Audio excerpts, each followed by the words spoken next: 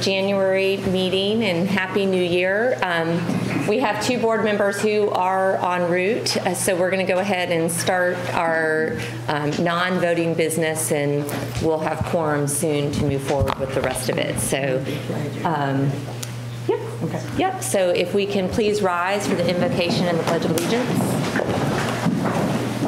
You can bow your heads. Dear Lord, thank you for this time that we have together. Uh, thank you for this new year and that each decision that we make for the students, for the faculty, for the staff, and for our community play into your plan.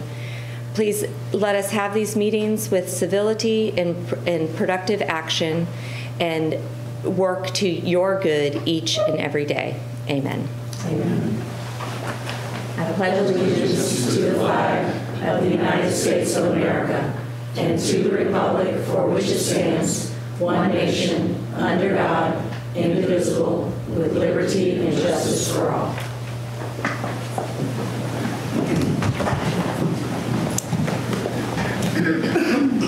Our first uh, retirement resolution is Kimberly Philos.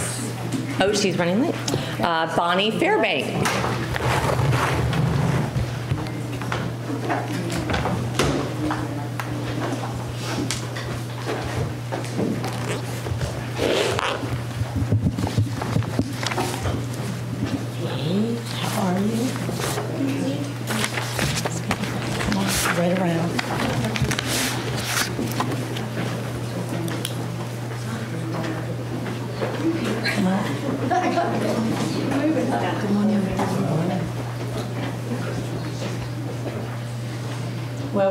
Know that Bonnie is truly loved. She has her posse up here with her. So I'm going to read said resolution. Bonnie Fairbank began her career as a business office manager in 2002 at St. Petersburg College's Allstate Center. And whereas Ms. Fairbank proved to be a competent and dependable professional and was transferred to the Seminole campus in 2003 to work on the PeopleSoft student administration system, where she played a key role in configuring the student financials module. Whereas Ms. Fairbanks successfully completed her assignment on the Seminole campus and was transferred once again to the Epicenter, where she implemented a fully automated online payment plan for students. She soon became known as an expert in processing resolutions, student financial module configuration, and fee verification, making her a highly valuable financial resource in the Department of Business Services. And whereas Ms. Fairbank has a strong work ethic and has always been willing to do her best to support her colleagues and the students she serves. Now, therefore, be it resolved that the St. Petersburg College Board of Trustees and the total college community hereby recognize and appreciate the outstanding contributions to the college by Ms. Bonnie Fairbank and extend to her our best wishes for enjoyment throughout the years ahead. Said resolution being adopted and approved by the Board of Trustees, St. Petersburg College, this 21st day of January 2020. Ms. Fairbank.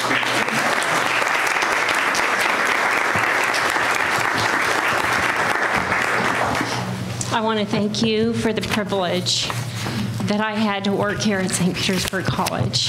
It has become a part of my legacy that I'm going to leave to my family and friends. And when I first came here, I came and I had coworkers, and then my coworkers became my friends, and then they became my family. And um, I'm going to miss um, them very, very, very much. And I just want to thank Mike. Where's Mike? he has been the best um, boss ever. Um, he's been my only boss up until about a, a year ago. but um, he led me through we had some good times, hard times, but he always led with grace and integrity and support. And I can't thank you enough for all that you taught me and um, the, the confidence that you had in me. Thank you. Perfect. Perfect.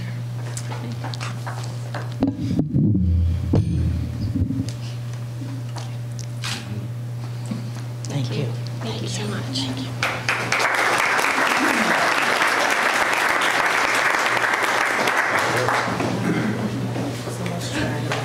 Okay.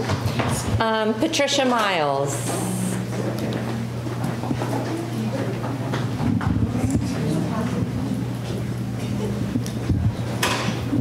Patricia here? Oh, yep. She's coming. Yay, welcome. It's crowded this morning in here.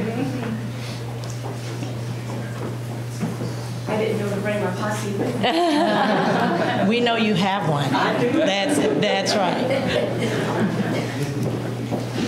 How are you? Good, good. There we go. Said resolution. Whereas Ms. Patricia Miles began her career as a pre-admissions assistant at the district office of St. Petersburg College in 2014, and whereas Mrs. Miles' outstanding work was quickly rewarded as she was promoted to a pre-admissions advisor in 2015. Two years later, she became a recruiter on the Clearwater campus where she developed strong and lasting relationships with students, faculty, and staff at local high schools. And whereas Ms. Miles also reached out to the community organizations on behalf of St. Petersburg College, embracing leadership roles in many of them, thereby honoring the college by sharing her many talents and skills at public events held throughout the Clearwater area. And whereas Ms. Miles, a warm and caring person, has throughout the years demonstrated a remarkable capacity for organization as well as a strong and deep loyalty to St. Petersburg College and those in the community college that the community serves, that the college serves. Now therefore be it resolved that the St. Petersburg College Board of Trustees and the total college community hereby recognize and appreciate the outstanding contributions to the college by Ms. Patricia Miles and extend to her our best wishes for enjoyment throughout the years ahead. Said resolution being adopted and approved by the Board of Trustees, St. Petersburg College, this 21st day of January 2020. Congratulations. Thank you. Thank you, Dr. Williams. I I have to say that my tenure here was very short, but it was my love of labor, and I enjoyed it so much. I uh, was born and reared in St. Petersburg, and to see the growth and to see what St. Petersburg College means to this community was heartfelt by me every day. That's why I loved coming to work every day. And as Bonnie said, everyone here is a family member and a friend, and I've made so many friends, and it was so supported by everyone. It feels good to come to work every day and know that we're all on the same page. So thank you very much. Thank you. Let's take a picture.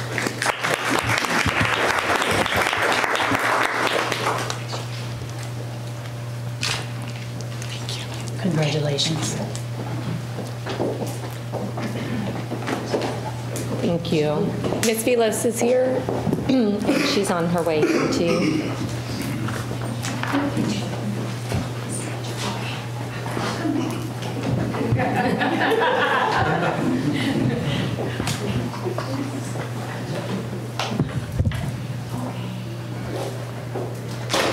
We'll give her a minute. I think she stepped into the ladies' room.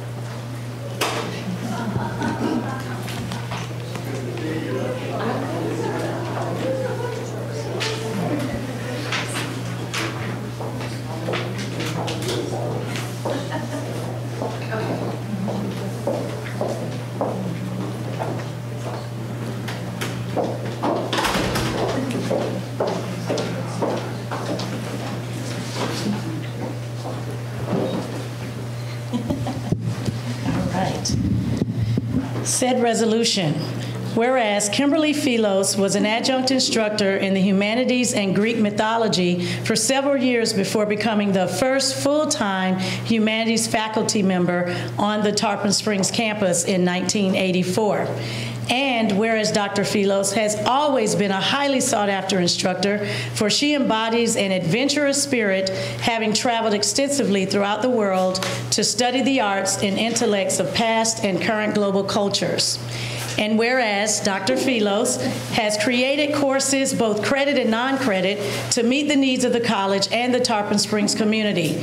One of those courses, Ancient Greek Mythology, received special recognition from the Florida University Curriculum Committee for its role in preserving Greek culture in the campus service area. And whereas Dr. Philos has brought honor and distinction to the college through her active participation in community activities, including as an instructor in a Greek bilingual program, lectures at the libraries, and conference presentations. She was named Distinguished Bayless Professor of Greek Culture by the American Federation of Greek Language and Culture.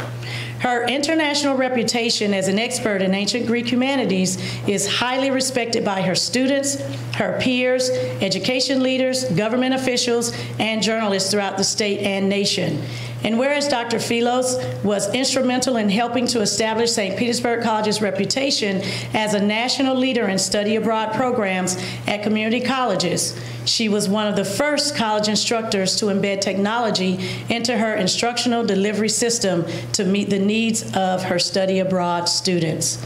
Now, therefore, be it resolved that the St. Petersburg College Board of Trustees and the total college community hereby recognize and appreciate the outstanding contributions to the college by Dr. Kimberly Philos and extend it to her and extend to her our best wishes for enjoyment throughout the years ahead.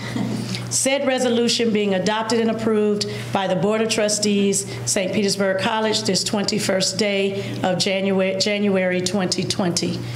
Dr. Philos. Yeah. We're also going to present you with the traditional Tarpon Springs sponger head on your retirement.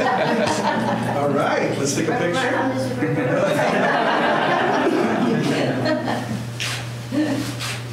Thank you. Thank you.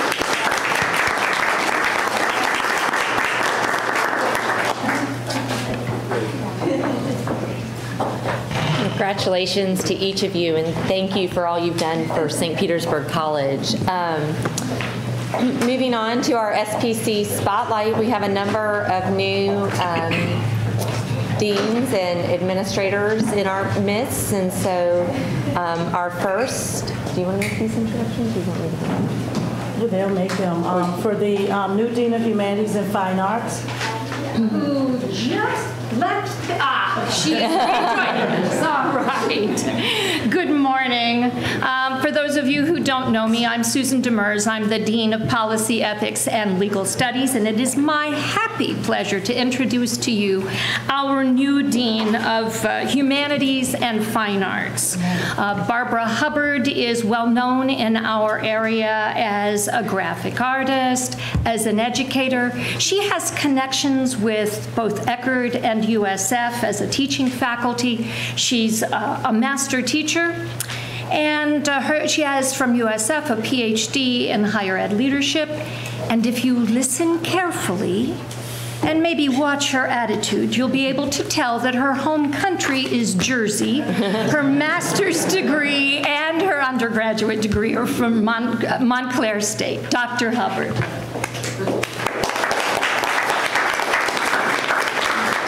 Thank you, Dr. Demers, Madam Chairman, President, and all of the trustees. I am very, very happy to be here, and um, I appreciate um, uh, the welcome, and um, I look forward to doing a fabulous job um, in the humanities and fine arts in this wonderful county that embraces the arts.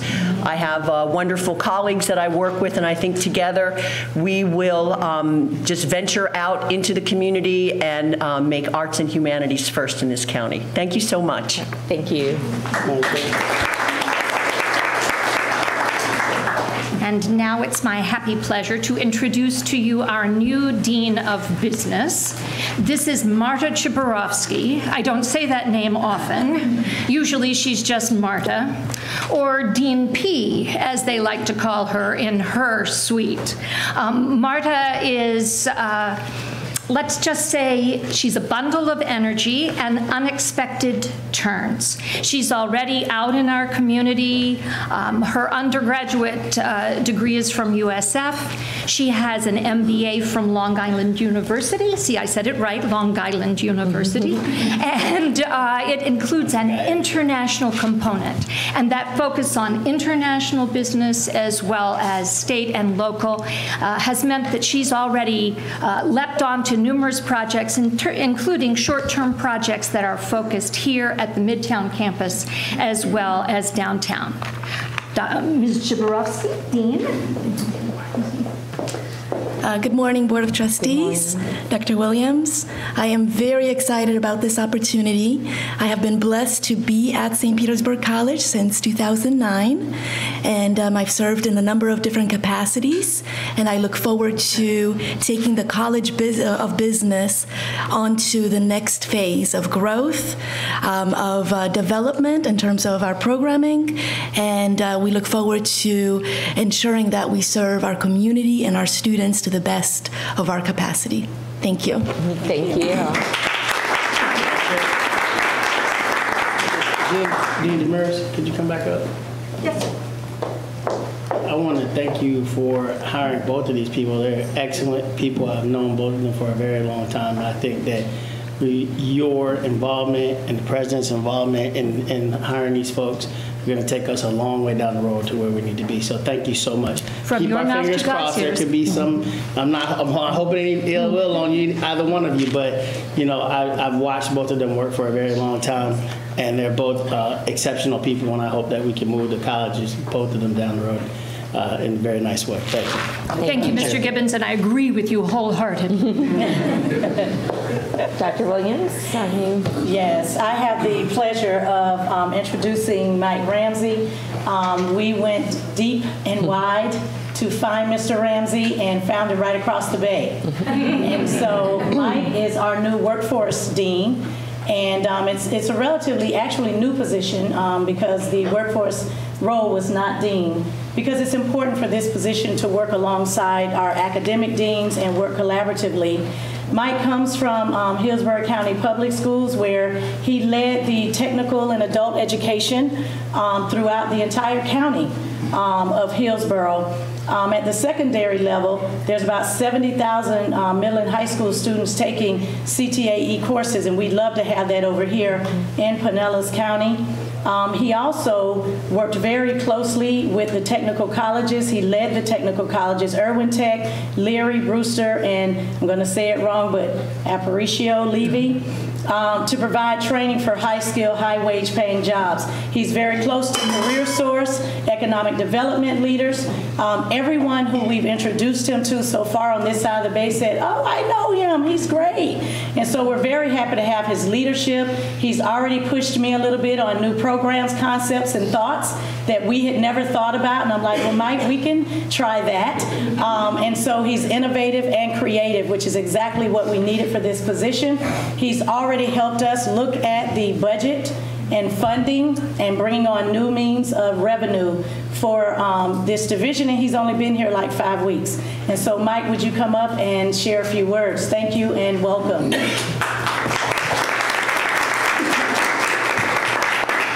Thank you, Madam Chair, Board of Trustees, Dr. Williams. I'm super excited to be here. Um, there's workforce going on all throughout St. Petersburg College. Um, just because this position is new does not mean that that concept is new to this school. Um, so what I desire to do is to help to align what we're doing here at St. Pete College internally and then externally to the local workforce to make sure that their needs are being met. Um, workforce development is a simple component. We have a demand from our local business and industry, and we're the supply.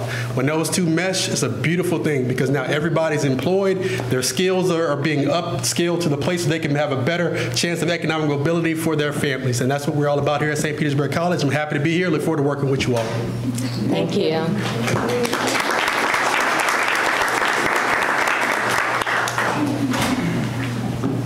Dr. Strickland.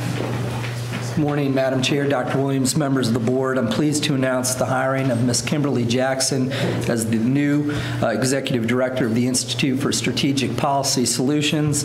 Um, Prior to her role, she served as the Academic Chair for Social and Behavioral Science under the leadership of Joseph Joseph Smiley. Uh, Ms. Jackson is very involved in Pinellas County, as her as her bio describes, uh, and she brings forth a wealth of knowledge that we look forward to her uh, bringing new programming to the Institute for Strategic Policy Solutions. With that, please join me in welcoming Ms. Kimberly Jackson.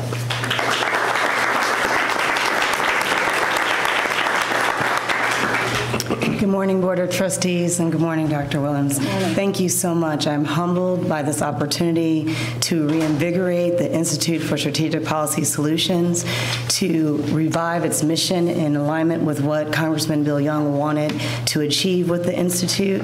We've started with an incredible start with working with the Florida Civic Advance Summit and hosting that program.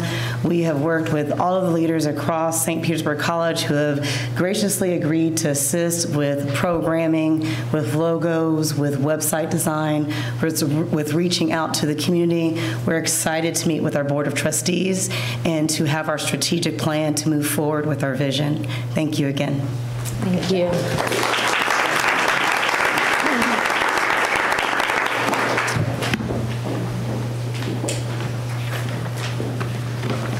Good morning, Chair Cole, trustees, Dr. Williams. Good morning. Saved the best for last. Thank you very much. You're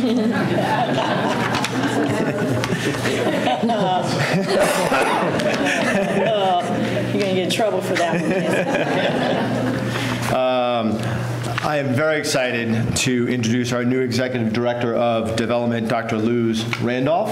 Um, as the Assistant Director of Development at USF, uh, Luz was, was, was responsible for university-wide fundraising efforts for di- diversity initiatives at USF. Her primary focus was assisting uh, in cultivating those relationships between USF uh, constituents and the Tampa Bay community. Um, she has successfully raised over $3 million uh, within that and assisted uh, in the development implementation of the Black Leadership Network, which aims to provide financial and mentoring support to the African American students at USF. We are very excited to have her come and lead our Major Gifts program, build it as we look forward to our 100-year um, comprehensive campaign and all the things that Luz is going to bring. Um, Also want to recognize that Steve Shepard and Mike Carroll are here from the foundation. Um, Another illustration that we are trying to integrate, and we are doing a very good job at being able to um, all be on the same page, and Luz is going to help us uh, get, get there. So, Luz?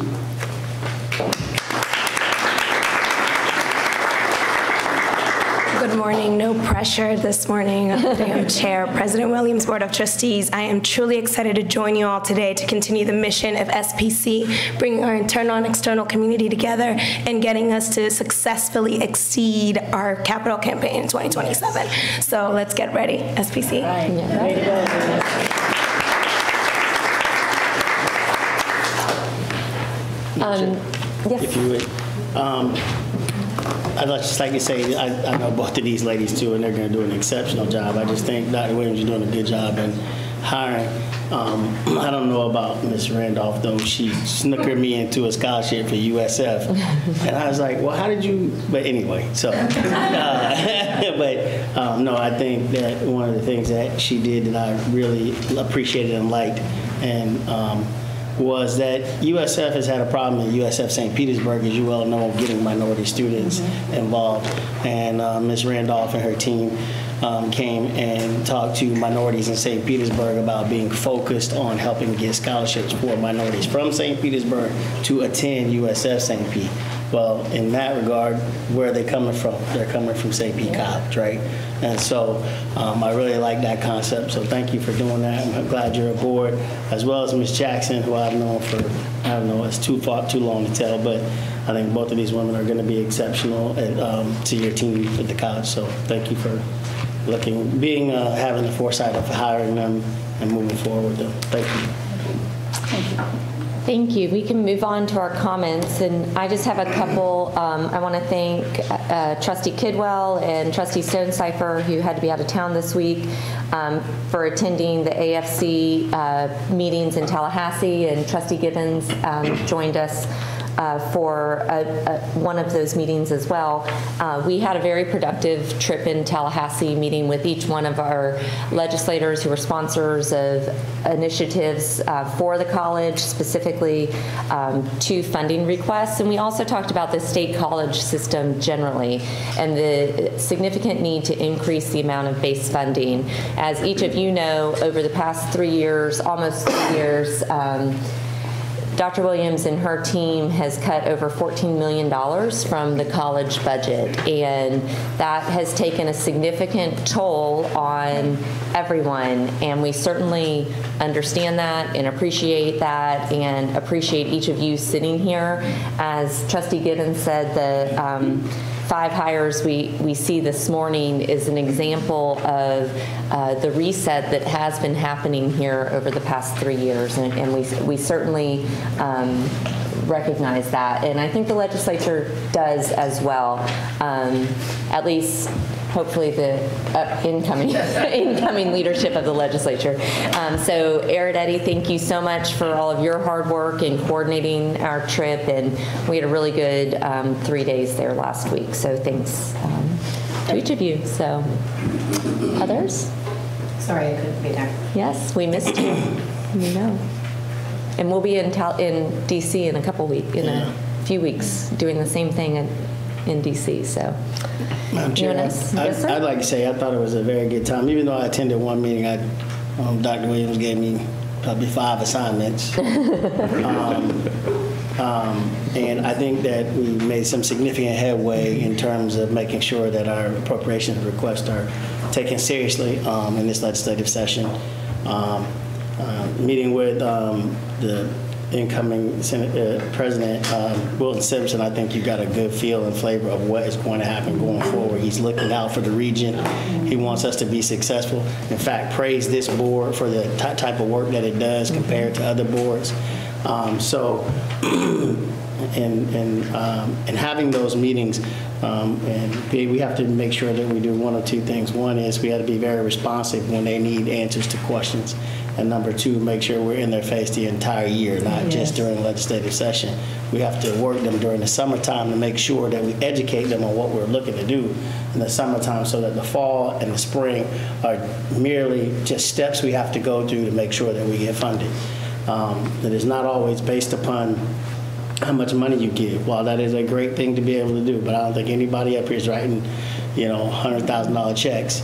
So uh, I think, you know, what we have to do is spend more time with legislators as we did last week and make sure that they are very well educated on what we are trying to accomplish and how it impacts students, not just in Pinellas County, but how it can be utilized statewide as a, as a pilot programs and other things. So I think we had a, a good week. Um, I think you guys did an excellent job.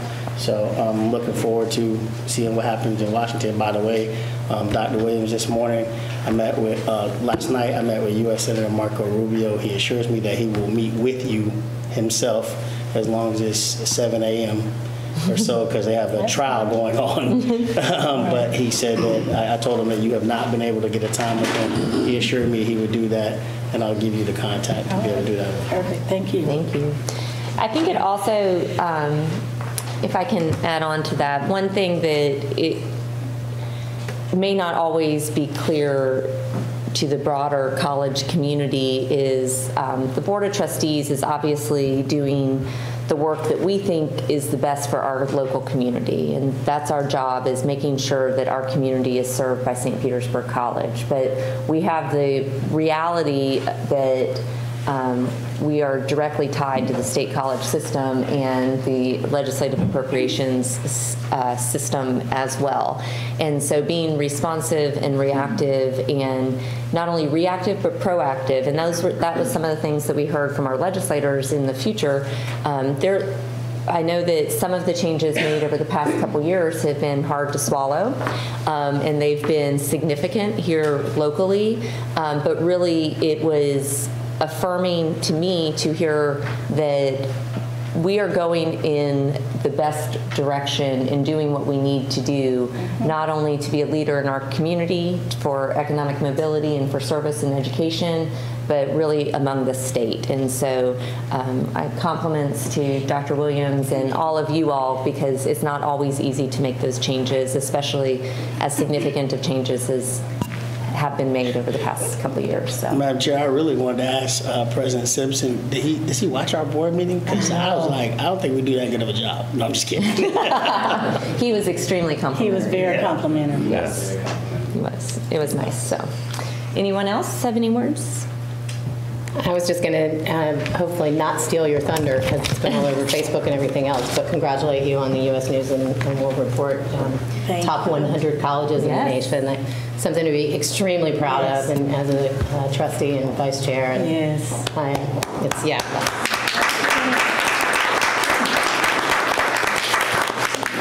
So again, I apologize for not being able to go to Tallahassee with you, but I went to Tallahassee and DC last year, so.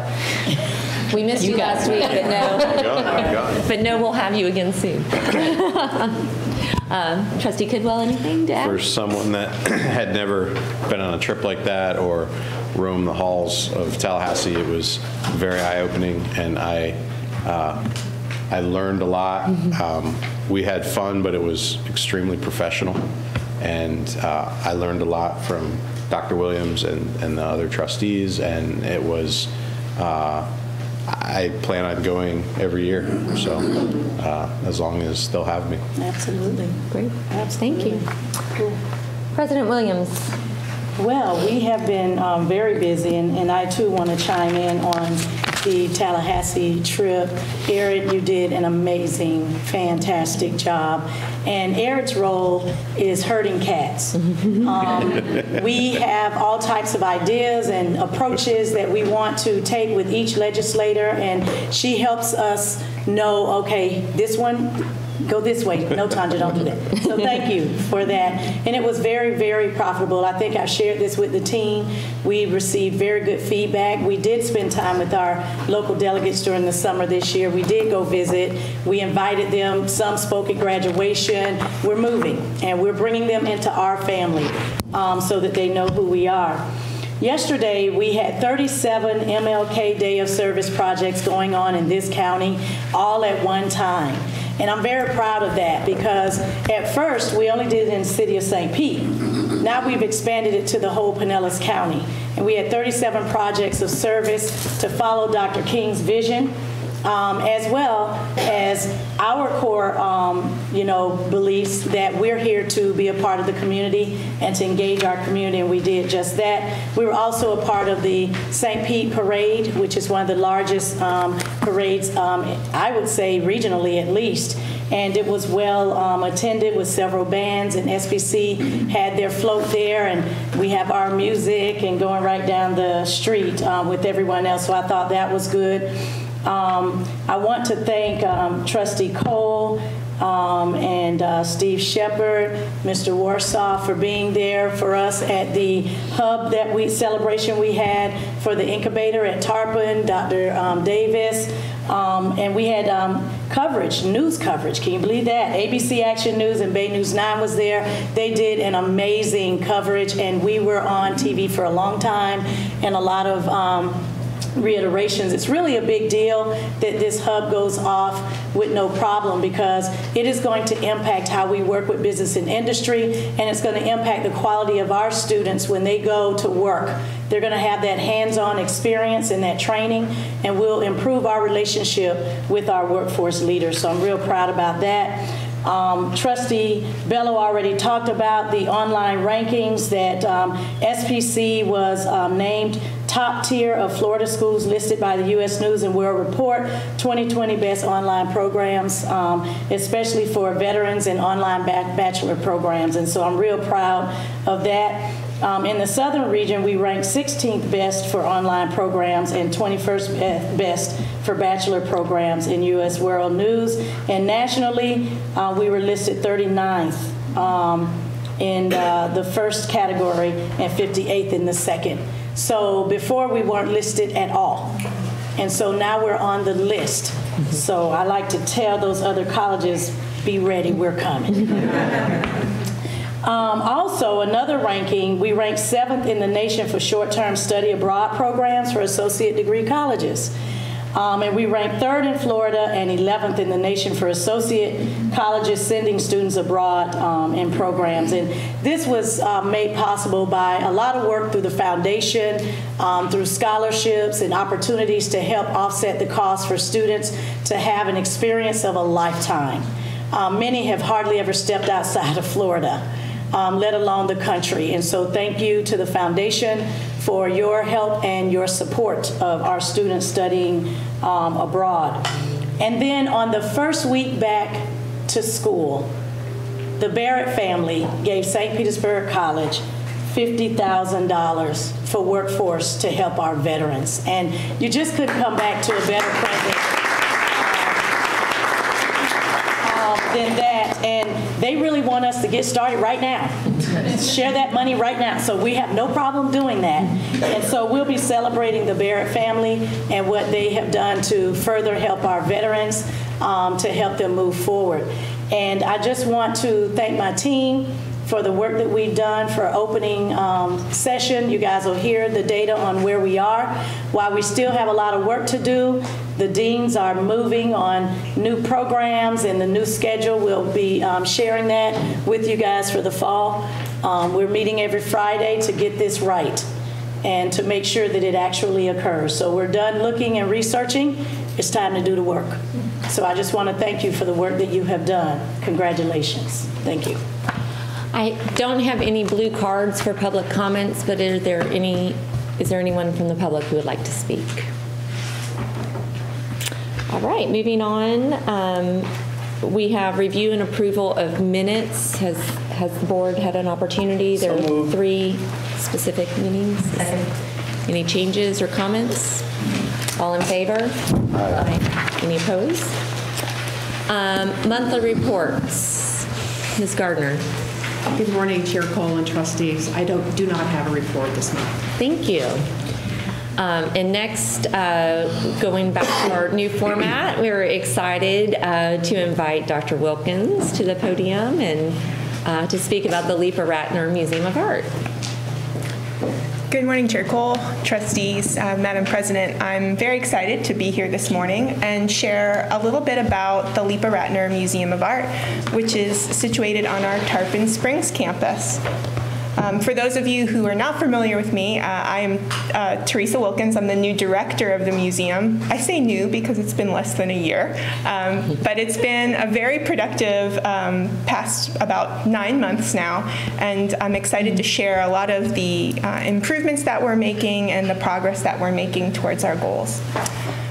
So the number one question I'm asked about the museum is, what does the museum actually do? And we sum that up with our mission statement, which is to collect, conserve, exhibit, and protect the works of art that have been entrusted to our care and our stewardship at the museum. And we do that through our exhibitions, programs, and our ever expanding collection of 20th and 21st century arts.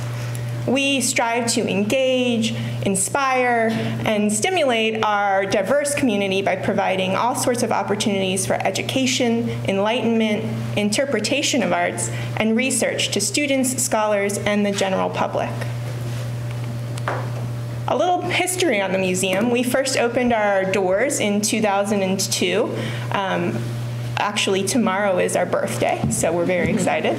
Um, the museum was established um, through a cooperative uh, agreement between Dr. Allen Leepa, St. Petersburg College Foundation, the college itself, and the state of Florida.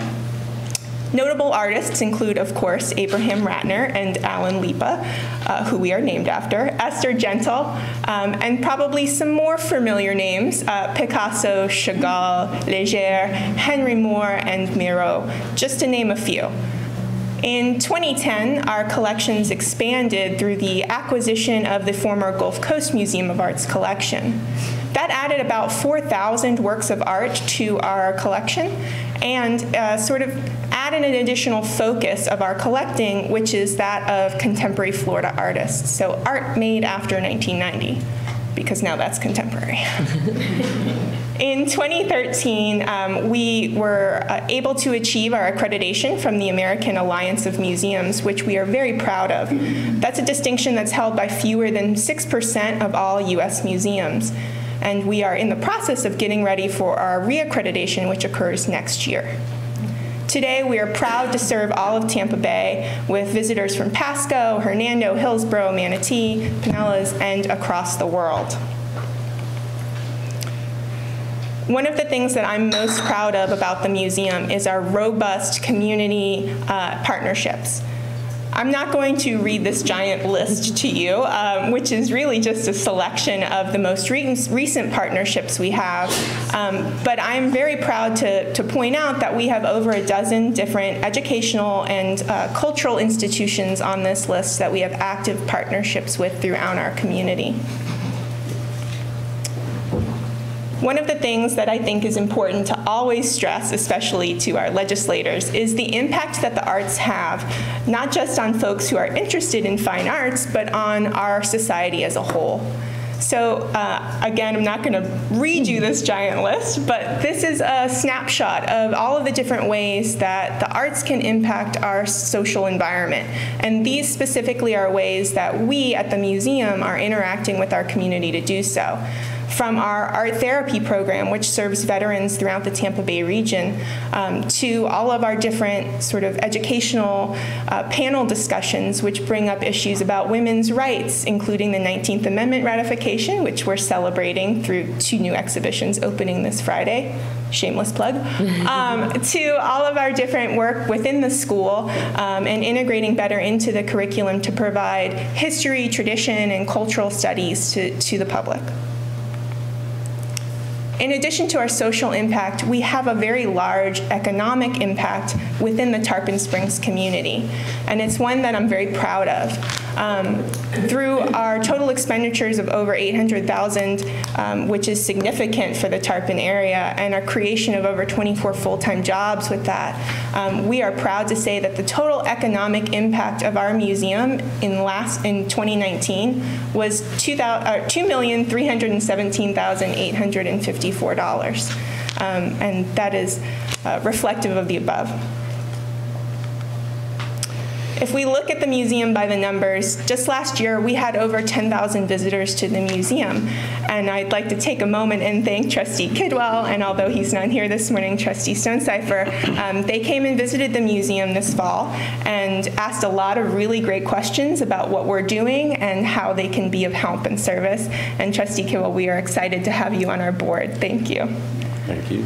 Um, of those visitors, we had over 500 students um, come through school tours in the community that we provide free of charge.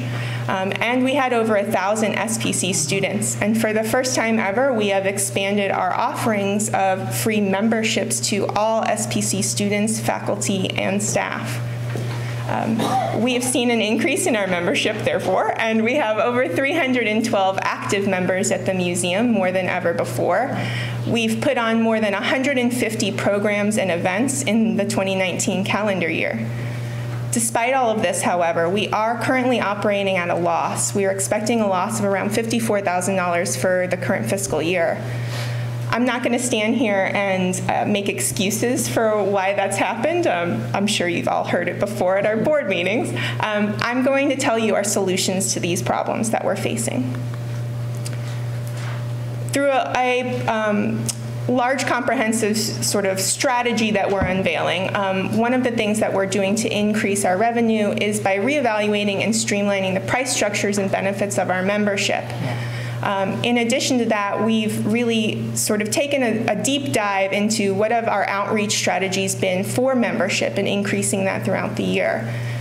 Through some of the new strategies we've employed over the last eight months, we've seen a 25% increase in our membership revenue. So we're very excited about the progress we're making on that.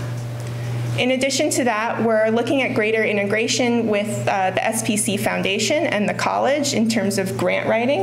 Um, we're working ahead on all of that for the next few years. And we're very excited to be welcoming a new development officer to the museum, Angela Manescala. She starts on the 27th, so in just a little less than a week now. Um, she has over a decade of working in museums and development experience, so we are uh, comforted with the fact that she's going to be able to hit the ground running. In addition to all of that, we've been looking at how we can diversify our store inventory and lower the average price point to make it more accessible not only to students, but also to the general public. And through those initiatives, our sales are up 12% over last fiscal year. Through all of the new programs that we've been rolling out, some of those over 150, um, and our new community and college partnerships, our attendance is up nearly 4% this fiscal year. And we're excited to see what happens with our new partnership with Eckerd's uh, Osher Lifelong Learning Institute, or the uh, OLLI program, so to speak, as we will be their sort of seat for their North County programs. Looking at the museum for this year and beyond, uh, we are excited to be partnering with all different areas of uh, the campus to celebrate Tarpon's 50th anniversary this year. Um, as I mentioned, we will be going through our reaccreditation process next year, and in 2022, we are poised to celebrate our 20th anniversary. So we have some really big plans for that, so please stay tuned. Um, part of that is our three-year calendar of exhibitions and programs. For the first time in the museum's history, we have a strategically developed three-year plan of exhibitions and programs that not only look at what's going on in our campus, but what's going on college-wide and community-wide, so that we are always relevant and we are always tuned in to the needs of our community and students.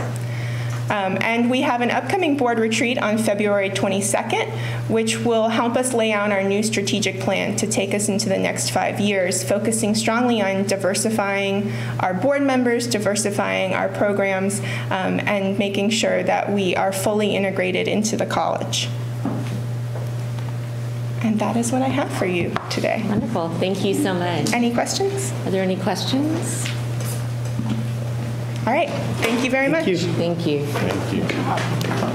Good job.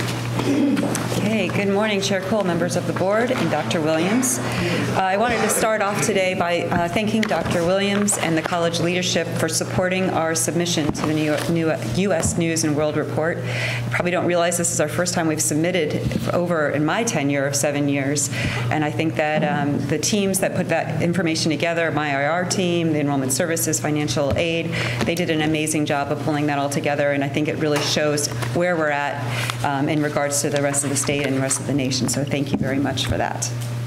So I'm here today to do two things. I'm going to start off with our monthly dashboard, and you can see it's a new format. You no longer have your placemat, but what we are rolling out is an online uh, strategic uh, monthly dashboard, which you can actually put on your phones. It's mobile friendly. We're going to send you the link, and you can pull it up if you happen to be sitting and you want to share some really good news with someone. You can just pull that right up. So I'm going to be starting today with um, our uh, recruitment information, and this is going to show you through the entire fall, all the way through the end of December. So it's the, the month of December, but also it encom- encompasses the entire fall. So beginning with beginning with our applications. This is really tricky. You can see that our applications, we were down by 1.9% in the fall alone, and you'll hear more about that when we, uh, Dr. Renard comes up. And that also translates into our new students enrolled, which was down in the fall for negative 0.7%. The good news is that Dr. Renard and his team have just rolled out a new recruitment plan that's just recently been improved. Um, it includes restructuring for our, our recruitment specialists with some new metrics that they're going to be focusing on, new job descriptions, and uh, a plan to fill those vacant seats. So we should hopefully see this increase, we're hoping, um, in the near future. In regards to our Workforce Institute, which if you remember from last year was the one that was struggling, you can see that they've had great success in increasing their numbers of students, and they're actually up 4.6% this fall. If I move over to our retention area, our event attendance, which you know is connected to student success, we had a goal this fall of reaching 14,000 students attending events, and we've exceeded that by 164 students. So we're very proud of that, that and well on our way to increase our, get to our target of 30,000 at the end. Our learning resource usage, uh, we are up 12%. So our learning resource team had a very specific goal of reaching out to our African American males. I think if you remember, we were talking about that. And this fall alone, we had we reached out to all of those uh, African American males who had a GPA below 2.49 or equal to 2.49. There were about 371 of those students. 58% of those students came in for tutoring. 19% actually increased their GPA above a 2.49, so that's huge. And 50% of the students showed some movement of their GPA in the upward trend, so that's a huge initiative, and we're really proud of that work. Our overall withdrawal rate, we try to have a stretch goal of trying to reach negative 5% because we were in double digits the prior fall. We were at negative 2%. We're proud of that number. We think that that was a really good place to end. So students were withdrawing from their courses at a lower rate this fall. If I move over into employee engagement, this is the same survey results that you've been seeing. Just wanted to give you an update that the next survey is going to be going out in March, so you'll be seeing some information about that then. If I look at our learning experience, so the first one has to do with Spark usage. If you remember, that's when faculty members are able to go through our learning management system and actually send text messaging to our students, also connected to student success. Through the numbers, we have an increase this fall of 47%. That's huge for us. Even more important is that the, the faculty email tools usage, which you know kind of lags because faculty like to use the, either the student's personal email or their SPC email. This is just within the learning management system.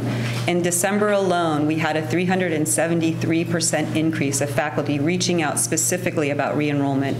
So you can see that we're up 3.3 overall in the fall, and I think that that shows how dedicated our faculty are to reaching out to our students along with the rest of our staff.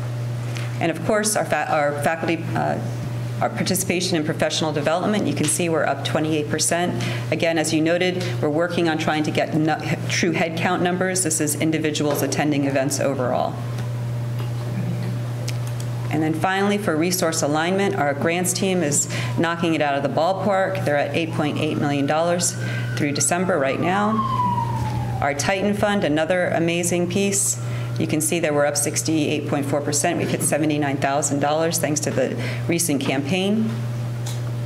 And our revenue, which is focused on our non-state, that last number of 51,000, 51 million where we're at right now, we're actually trending about 640,000 below our budget. This was a request that you made the last time to kind of give us a sense of where are we in the budget with this. And that's mainly due to our um, our, our lack, our, our lower tuition, our lower student enrollment numbers, which Dr. Bernard will talk about in a few minutes. That is our monthly dashboard. Are there any questions I can answer about that? I, I wanted to say thank you. I, as we've said, this has been a work in progress, but I appreciate um, the metrics that you've chosen and then reminding us why we've chosen that metric. You know, event attendance means the students are engaged, which means they'll re-enroll, and I, I think that are good reminders for all of us. So we're not just focused on, um, you know, specifically how many emails are being sent. That that's not the right. point, but you know the much higher level goal. So exactly. um, thank you. I know we all want to look at those revenue numbers, so we'll, yes. we'll wait till we get to that portion. okay. Anyone else? Okay. Thank you. Thank you. And I think you're still up. I am still up. okay, so now I'm here to talk a little bit about our fall and our winter 2019 course success rates.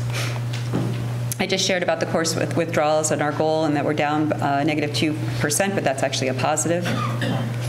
I'm going to look at retention rates. So we do have a strategic plan goal of increasing our retention rate by 3.2%. You can see that we're probably, we're pretty much like at a steady right now, fall over fall.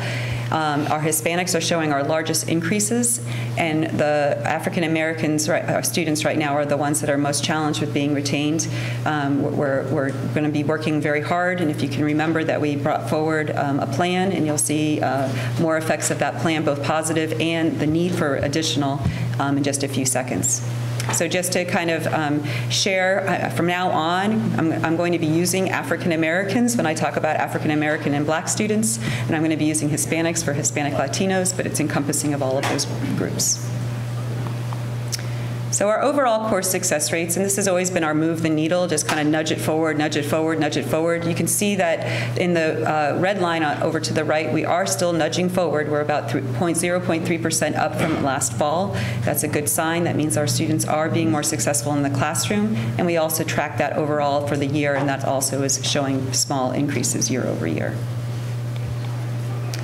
Now we're going to look at our overall students. How are they doing? This is that big messy slide, so I'm going to color code it for you and walk it through. So for all students, when we look at our male students and our African American students, you're going to see that they have an increase this year. That's a good sign. We haven't seen that in a long time. And if you follow the second yellow line all the way across over to the gap analysis, our African American students, though woefully disparate from our overall success rates, are closing the achievement gap just a little bit. And that's a, that's a really good sign for us. Unfortunately, if we go down to the bottom two lines, our African American males and our uh, Hispanic males, they're the ones that are still slightly below, and their gaps are continuing to increase. But this is the entire student body. So we are doing many things like the Learning Resource Initiative, but I'm going to show you where that really kicks in, and that has to do with our first time in college students.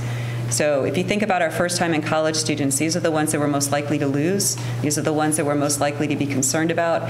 And so when you look again, this time it's completely opposite.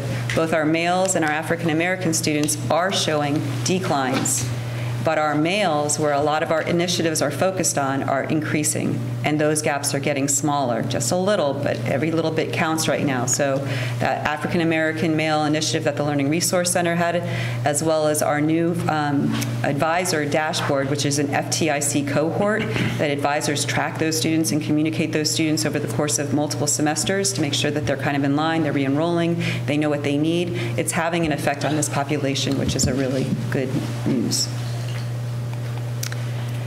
Uh, I've stopped sharing the developmental education success rates as a big slide. It's over in the little blue box over on the right. You can see that we're continuing to increase. We're up 1.2%, all the way up to 67.1% overall. But our student numbers in that group dropped another 155 students. We're now down below 1,000 students who are enrolling in developmental education courses. So it's less important than it is for us to talk about those who are choosing to go into gateway courses, which you can see in the bigger um, spread.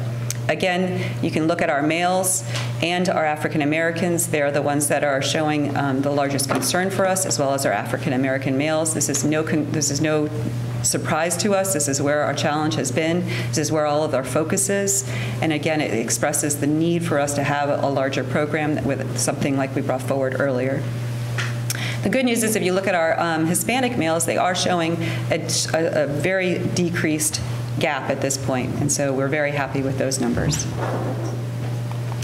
Finally, when we look at our winter courses, so this was our second winter of offering courses. Last year was just a pilot, so we gave you an overall winter course success rate of 75.5%. You can see we increased it to 78.3%, plus additional courses, additional sections, additional students. I took the time to break it down because I think it's really important to kind of look at how are we doing. In regards to our males, they did very, very well at 81.1%. Our African American students, on the other hand, they actually um, decreased in regards to our fall numbers. They were actually down um, a slight bit, about 2.4% based upon their numbers for the fall. But if you look at our African American male students, those that we would have thought that in a short four-week class might have struggled the most, they actually increased 8.4% in their success rates, showing that this is something that we need to look at very carefully. Are these shorter courses really more effective for maybe some of the student body? Small amount of students, but it's something to glean for us to be thinking about how do we make shorter classes um, more effective for, the, for some of our student populations. These are the noteworthy observations. They're more here for the record. I've just kind of walked through all of them. I don't think I'm going to need to repeat them. Um, I did want to share with you, however, that we have several next steps. Our strategic priorities that came out of our December board meeting um, are written out here for you. So as we bring forward those initiatives, you know that they're going to be connected in one of these five areas or one of these five priorities that you identified as being the most important. Do you have any questions for me? Anyone? One thing that we talked a lot about last week, both with the state college system and then several legislators brought up, was dual enrollment classes and the potential expansion of those. And interestingly, we had a very specific conversation um, about whether it was appropriate for the developmental ed classes to be offered as dual enrollment as a way to preload. Preload, you know, it, it, because I think Trustee Gibbons so um, reminds us regularly the burden that some of those dev ed classes um, place on the college across everything, our metrics, our funding, our everything. And um, I thought that was a, a really creative option was to, if we can start with some of these kids in dual enrollment for Dev Ed and move forward. You know, Madam Chair, also allows us, for- and it's just as bad to do, but we almost in a situation that we have to do it, it allows us to cherry pick the best and the brightest first. Right. Right? And there are probably some of those young people that, and I know some of them, I ask their parents all the time, why are you sending this kid to TCC? Why are you sending this kid to Miami-Dade? Doesn't make any sense, right? You can do the same thing here. Um, So um, it would allow us to contact them earlier, get in the pipeline in terms of getting them into school, and it's easier. I think. I think a lot of they don't they don't really a lot of these parents or students don't really understand that they can still transfer somewhere else, but they think, oh, I have college credit at St. Pete College, I better just continue that track and finish, right? So it allows us to get the better students, um, the ones that are pretty much prepared for college um, which helps offset some of the other stuff that we have to deal with in terms of funding. I I think um, the work that the team is doing, I think it's Dr. Smiley, I could be wrong, we're actually piloting a dual enrollment class um, for students who don't have a 3.0 to um, help them gain some college credit and experiences so that um, we're doing it, I think, at just one, I don't know if Dr. Smiley's here, I think it's just one school. One school, SLS 1101. Right, and so we're, we're actually trying to work with all students, but you know, in, in all honesty, a lot of our struggle is actually the adult learner. Um, we, you know, at SPC, we have an older population um, of students, and you'll see that number declining when Dr. Renard comes in, um, that they finished high school 20 years ago. And, and so th- that's the code we've got to crack. I think that is the group that we need to spend more time with, maybe starting with a workforce-based program that they can get a skill um, to get a higher wage paying job, and then look at the gen ed and, and other courses. And so that is the area that I think the college is also going to need to focus on for our older adults. Madam President, um, you know, it's interesting you say that. I also sit, um, as you know, on the Bethune-Cookman University Board of Trustees. And um, one of the things that we're struggling with is something similar. There's an older learner, but also those learners, their average GPA of entrance is around 2.5 or 2.3 or something like that. Um, so one of the things that we've done and we've seen quite a bit of success with under the leadership of Judge Perry as our chair um, is we've gone to a summer bridge con- concept that if you're coming back to school that you have to attend the summer bridge program.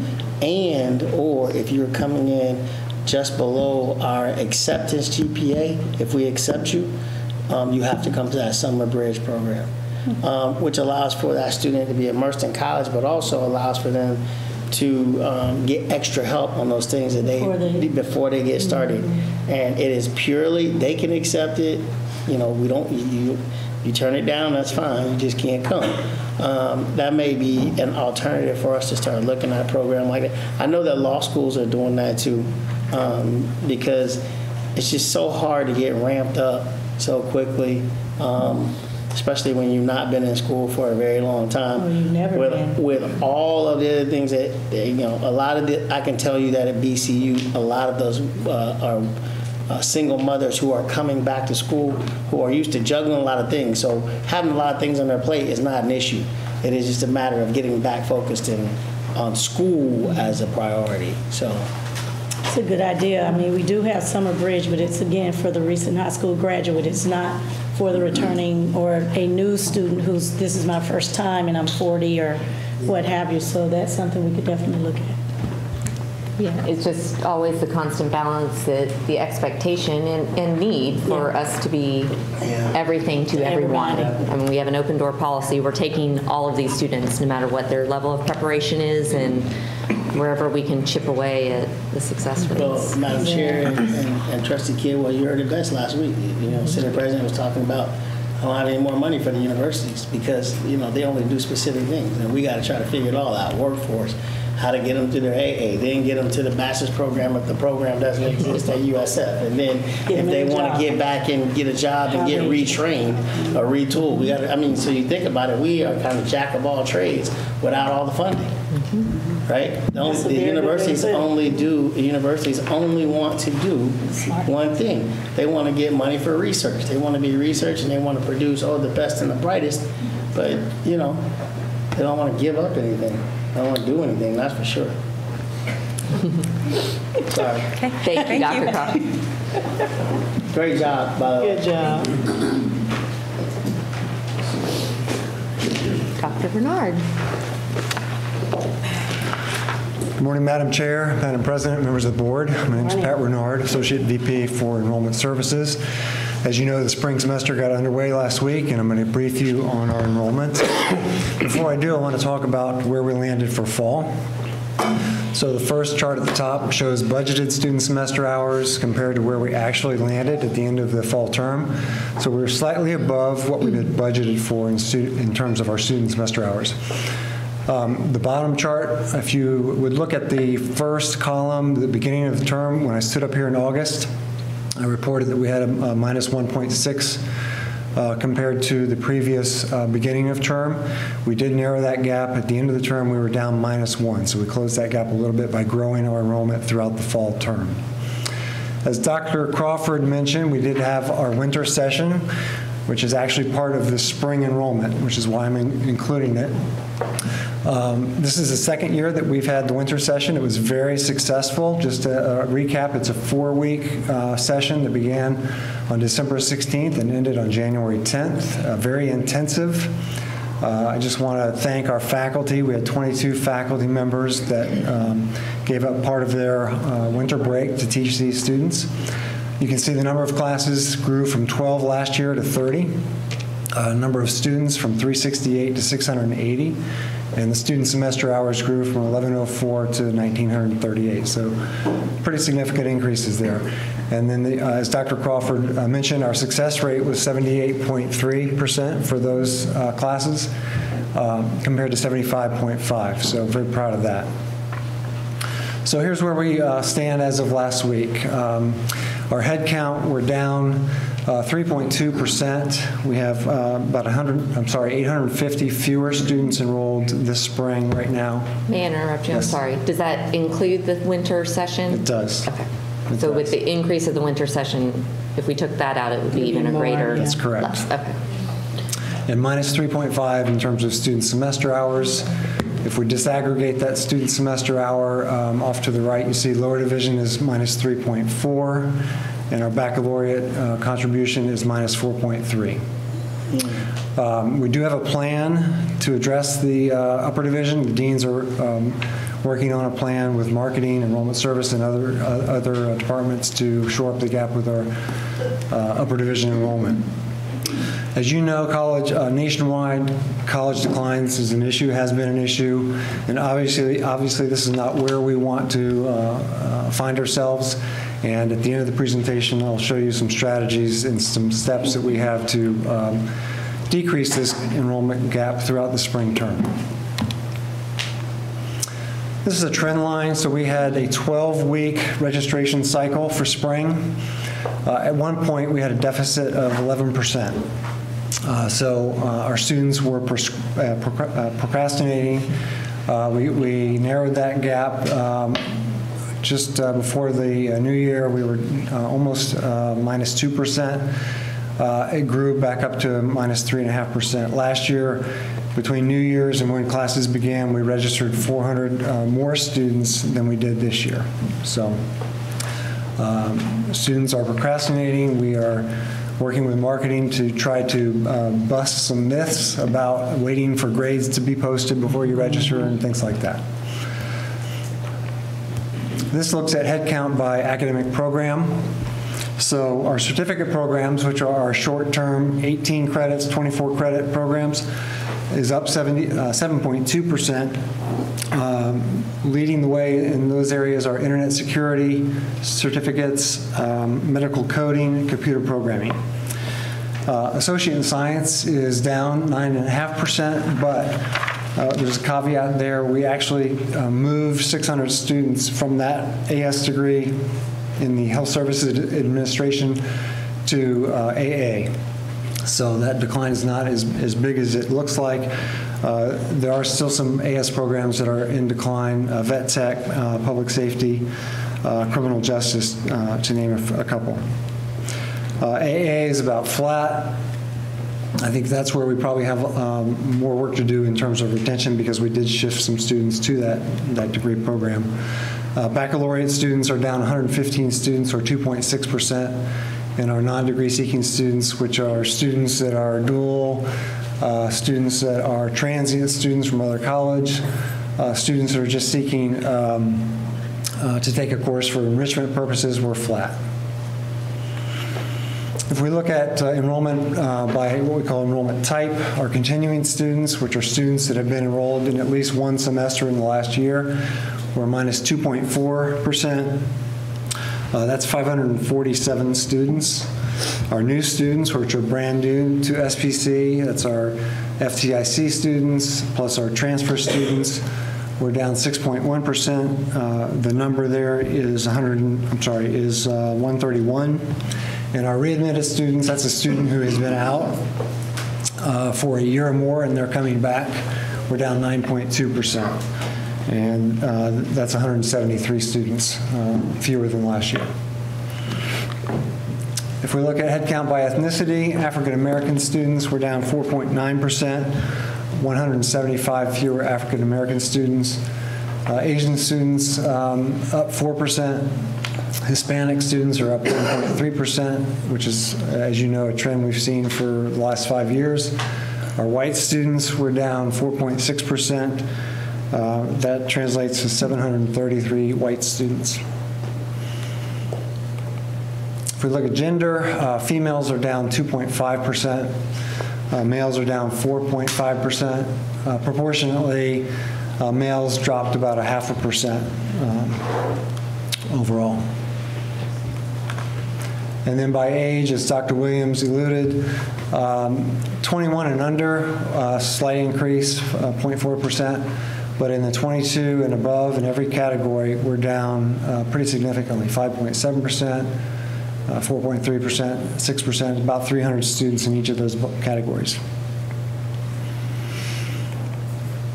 And lastly, if we look at enrollment status, uh, full-time uh, is minus 3.5% and part-time minus 3.1.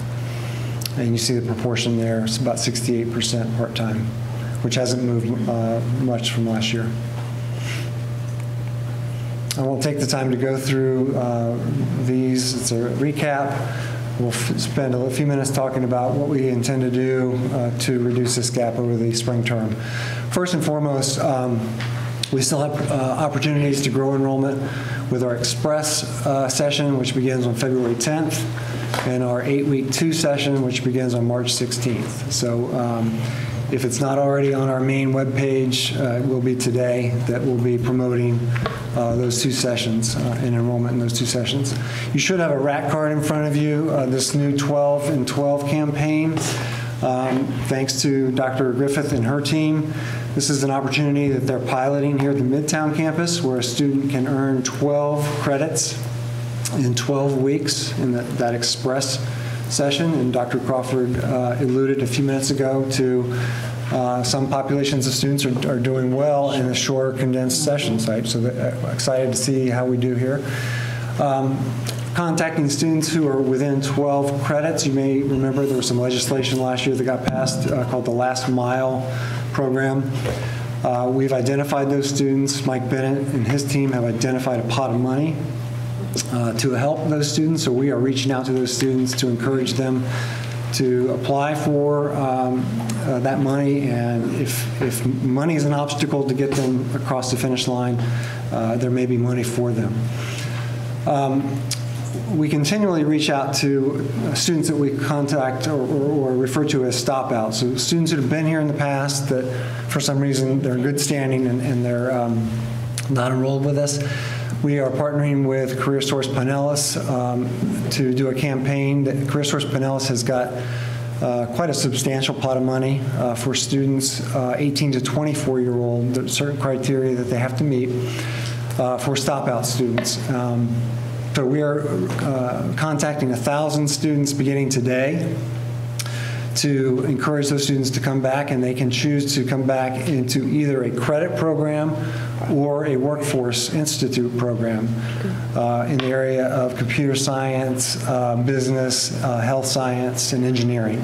So we're, we're excited about that pilot um, and what that might yield. But that's a small segment. We continually reach out to the, the larger population of students who have stopped out. And then there's a, a population of students that apply, and when they apply, they say they're going to start uh, in the spring term or they're going to start in the fall term. And so we go after these students that said they were going to start in the spring, but they never enrolled. So there's a, there's a communication plan and campaign that we follow, but we will be even more aggressive to try and encourage them to come back, if not in the spring, summer or fall. So I'm happy to answer any questions you might have for me. One of the things that I appreciate, Renard, that you did not mention is um, Reggie Reed is worked with you to restructure all of recruitment. That has been approved, and we're moving forward with that. But one of the things that I've learned over time is it's never good to go back and contact people who have already left. You know, they're, they're gone. Um, and so we're spending time with them to get them to come back. CareerSource has some resources to help pay and offset the cost, so that will be very helpful. Um, but I also think that the structure that you guys have developed with Reggie Reed is going to pay off. Um, and as we move that forward, it won't help for spring, but it'll help for fall. And so I'm, I'm hopeful for that. I look forward to that. Is there, Madam Chair? Yes, sir. Um, is there any, um, I know we're past the drop ad period, right? So. For 16. For the 16 weeks. 16, uh, so, so we have some, um, we can make up some of that ground during the express courses, right? Mm-hmm. Okay. And how, what are your projections on that? Do you have any, or I don't want to Yeah, as you, as I I shared in the fall, we, we closed that gap from minus 1.6 and we ended at minus 1. Okay. Um, I think with a full court press and everybody's um, attention and effort on this, we could close that from a minus uh, 3.5 to a minus 2. If we're very aggressive. Okay. I almost hate to ask this question um, because of all of our good efforts with our One College initiative. But do we see a greater um, decline on any particular campus, or is it just somewhat across the board, or any particular programs? I mean, I know degrees, we- you just, we are looking at those, but It really is across the board. Um, The only campus that, that uh, is up is Tarpon, and if you recall, we had the collegiate high school cohort, and that's contributing to their being slightly up. I'm sure one more question, I'm Yes. sorry. Dr. Nard, um, this is an excellent report. I just got one question. You talked about it's CareerSource, right? And they have some monies to help us. Are we connecting them with our new person in the workforce development to make sure that we're utilizing that money and going after some people that may be looking at our programs as well? Can we utilize some of that dollars? Absolutely. Okay, I just want to make sure. I know they can be sometimes pretty hard to deal with, so I just want to make sure. Mike's got the secret oh, sauce. Okay, all right. And along those lines, at the opening of the incubator two weeks ago, it was really encouraging to see CareerSource there, Pinellas County School Board, our workforce, all there to have this real-time response Yeah. to employers' needs. I think once, I I mean, our goal would be twofold, right? From a Workforce Academy standpoint, we're increasing our workforce numbers and serving the community, but on the other hand, it would direct, hopefully have a direct positive impact on this. Yes, I agree. I just want to get back to the point where, you know, the reason that we're in, I keep, I told this story a hundred times, and I'll tell it a hundred times more. I just want to get back to the point to where we are known for getting people to work, mm-hmm. right? I mean, you know, that was the whole discussion. Evelyn Bilirakis and Carl and I were sitting in, in the governor's office, The University of Florida told them, give them a million dollars and they'll study how many nurses they can produce. And Dr. Kuttler stepped right up and said, look, give me a half million dollars and I'll produce you nurses in two years. And that's what we got to get back to in terms of workforce and make sure that we, um, that we're looked to. You know, we were sought after at that particular point to, like, how do you resolve these issues? And that's what we want to get back to. I think that'll help with enrollment a lot, so. Thank you. Thank you, Dr. Good job.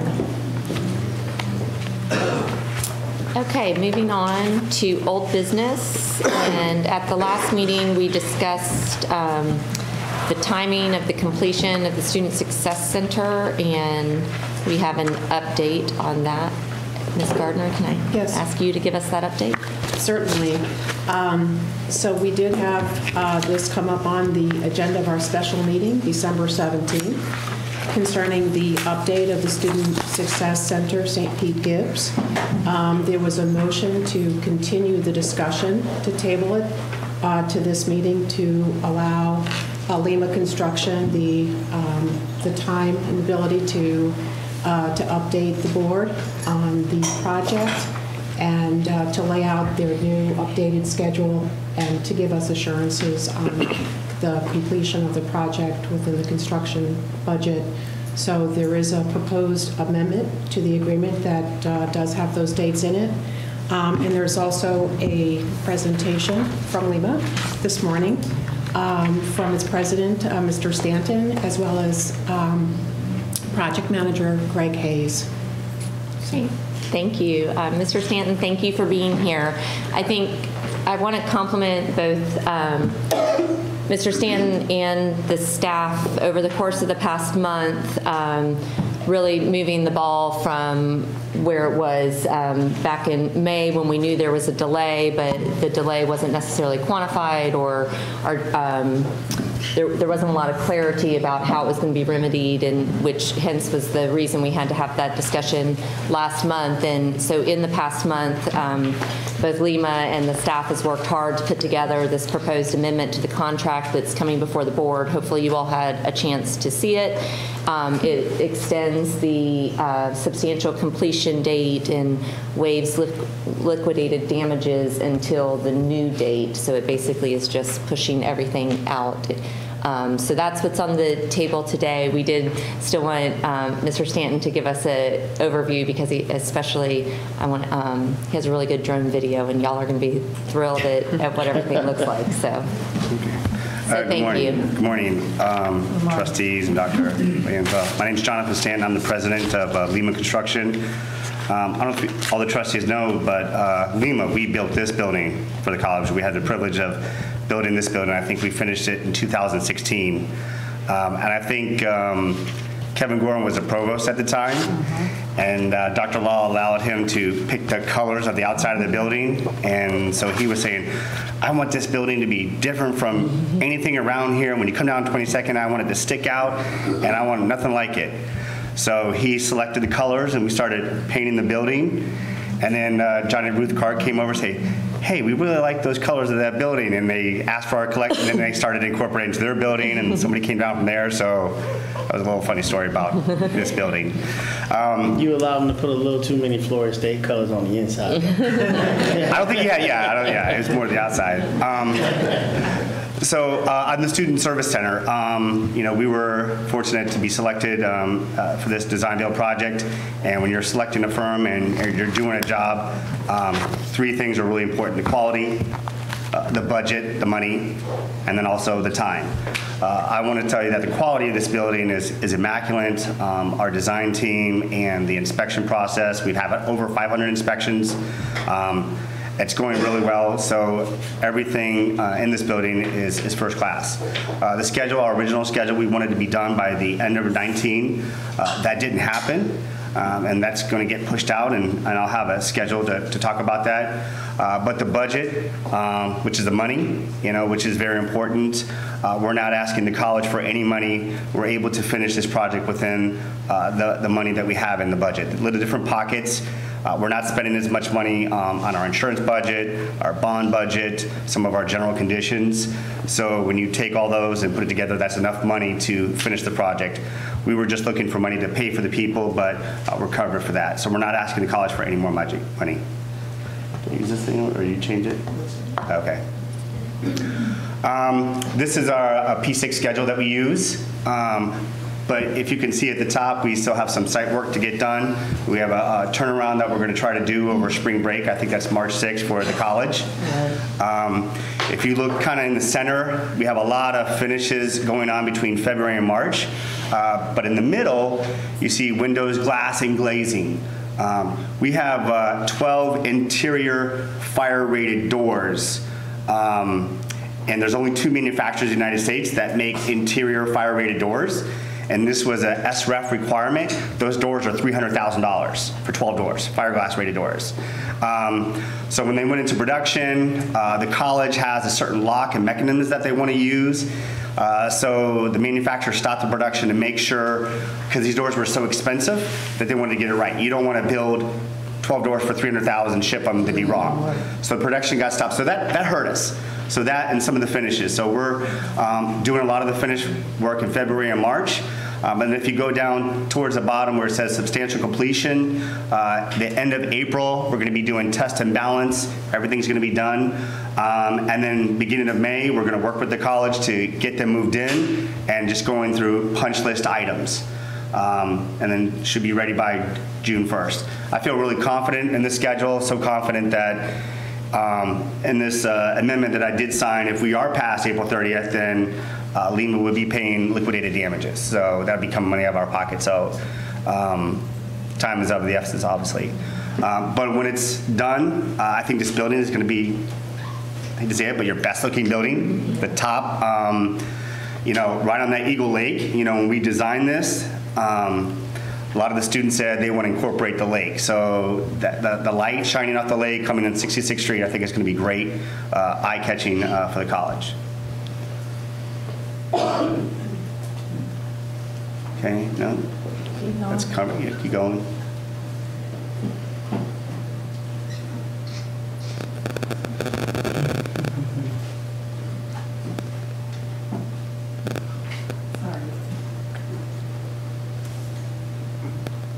Keep going.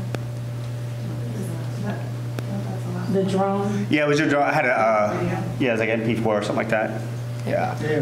Yeah, so this is a drone video. We send monthly updates. Uh, this is from December, so this is not January. Um, but where you see all that yellow is that's where all the ACM blue uh, wall panel is going to go. So you see some of it, um, and that banding is done up there. Uh, the scaffolding's down. Um, all the glass is installed. The only glass left is those interior uh, 12 doors. Um, we're going to pull out our trailer, I think, uh, by the end of the month, maybe first week of February. So we're going to get our trailer out of there. We're just going to drop in a little smaller one uh, in a little different part of the parking lot. So when you get rid of your trailer, you know, and you don't have this big trailer, a lot of the employees, you know, they're like, oh, I'm not sure, I got to get going. You know, the job's really ending, so it's going to have more of a feel. So um, it's a great project, and um, we're going to be really proud when it's going to be finished, and I think you guys are going to be really proud as well. Thank you. That's it. Um, So before us is an amendment to the existing contract to extend Madam the Chair, let me ask date? a quick question. Sure. Um, I know that Mr. Stanton said that he did not, I know we were in dispute over an amount, I think it was like 138 or something like that. Um, I know that he said he didn't want that money, but I don't want this coming back to the board, so I would want to offer to the amendment, I mean, amendment to the amendment to ask that we put that in a contingency somewhere so that it does not, if, if we do run over, uh, this doesn't have to come back to the board again. I, I, I want to be done with this, and I'm sure that he's going to stay on timelines and all this other stuff, but I don't want to deal with the finances of this again. And, you know, honestly, $140,000 uh, is not a lot of money. I just I'd, I'd rather put it in some type of contingency, either owners or our contingency to make sure that it can be released if we need it. Um, So that's my motion. If it dies, it dies. That's okay, but I just wanted to be on the record. No, I, I appreciate that. I guess from my standpoint, I think the first draft of this amendment included that, and through a lot of discussions over the past several weeks, um, that came out, and so it was my understanding that it wouldn't be necessary, and, and so. Yeah, one um, thing I could share is that, um, you know, in our budget, the college still has their owner's contingency separate out of our money that we play with.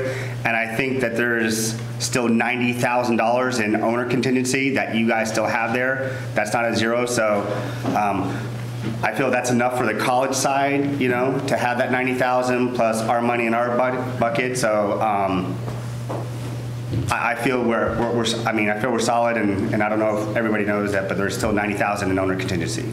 Thank you.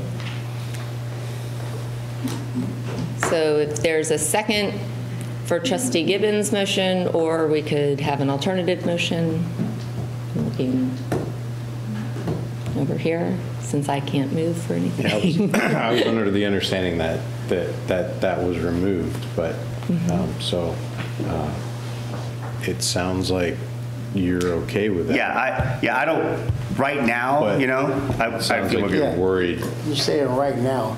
Right. I don't want to get another month down the road and then we find something else that's wrong or we got to fix or come. I, uh, trustees, I don't want to deal with this issue anymore.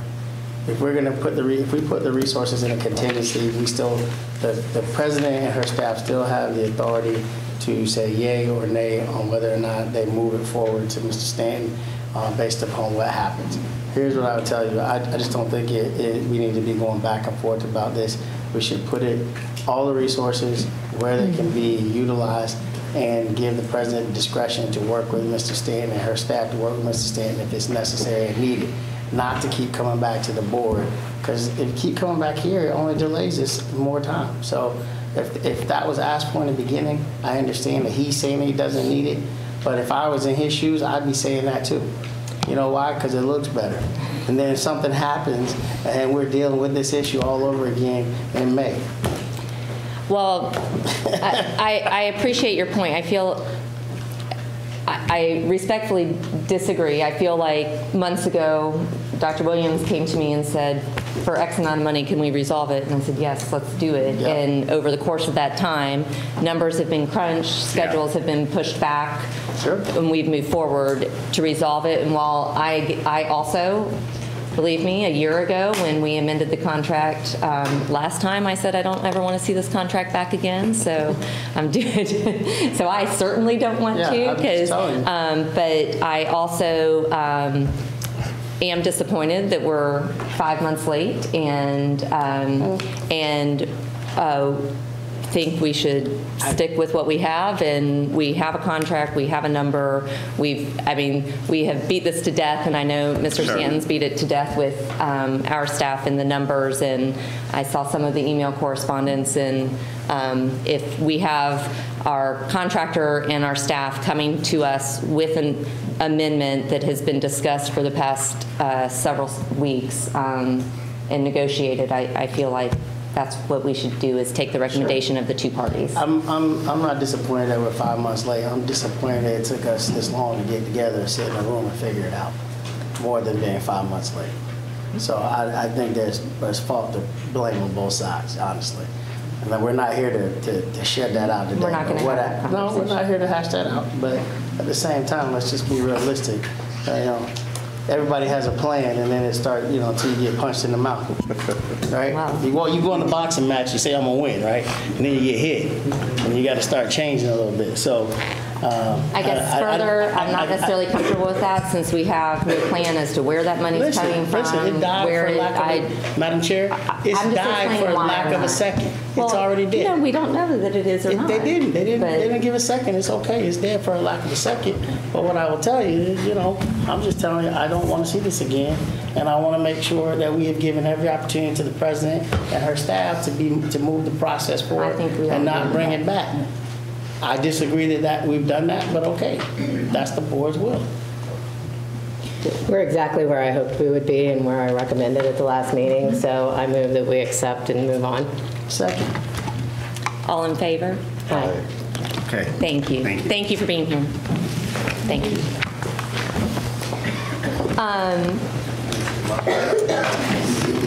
Moving on to new business, there's a number of administrative matters um, that were included in your packet, including a personnel report and the stop-loss policy. Does anyone have any questions about those?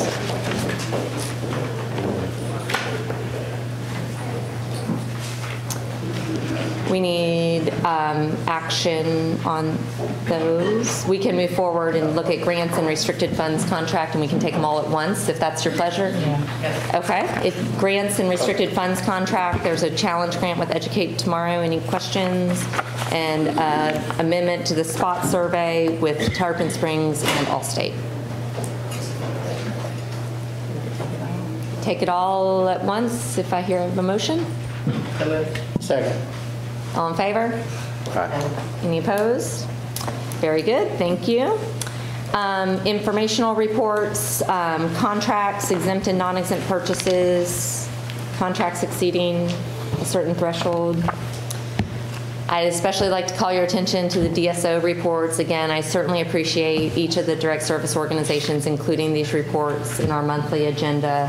Um, the college does so much, and we get into the weeds sometimes about, which we should, about student success. Sometimes we lose the focus of all of the other things we're doing in the community to really impact the community for the positive, and um, our DSOs are certainly an example of that. So, um, any other questions? Hearing none, Dr. Williams, your report?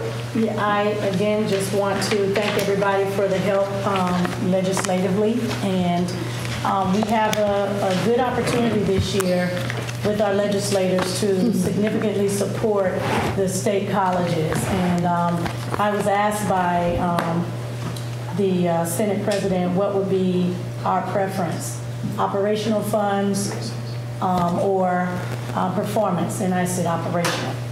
Um, all state colleges are working very hard to get operational dollars, and we're working as a team to uh, try to get $50 million for state colleges this year to divide according to um, need and effectiveness. So we've got two ways that we're being funded, or has been recommended that we're being funded this year. One is by growth. So it's looking at those colleges that grow at a higher rate. Thank you. Those colleges that grow at a higher rate will receive more funds to support them out of their growth.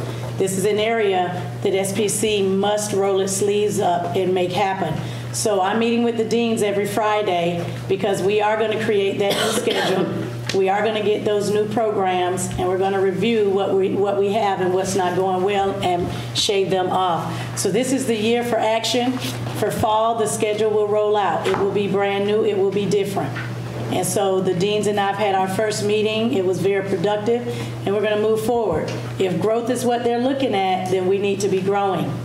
Second, they were looking at a performance-based funding model. That model is twofold. One part of that model talks about how many of our students are graduating and our completion rates. We'll need to work on that. And then how many students stay year over year. Those are the two areas that we need to be focusing on. So legislatively, we need to do it, but for our citizens in our community, we need to do that. So that's going to be our focus and, and where we're headed. I'll be back in Tallahassee Monday through Thursday of next week. The thrill. Um, but the thrill of that will be I'll be with Leadership SPC, which is going to be great. Um, and I'll also be with our students. Um, it'll be their student trip. We decided to make this a SPC week, um, and we'll have our uh, great employees and our students there. And um, I'll be there also meeting with our legislators and other um, interest groups. So let's keep moving, and we'll we'll make it happen. Thank you for your support as a board. I really appreciate each and every one of you. Thank you. Very good. Is there any other business by the board for today? No, we'll stay after. We have a presentation um, with Verizon. Um, I believe that is upstairs, or is it in the lobby? It's in the lobby. So we'll see you out there. Trustee Gibbons, you're on. Wonderful. We're adjourned. Thank you.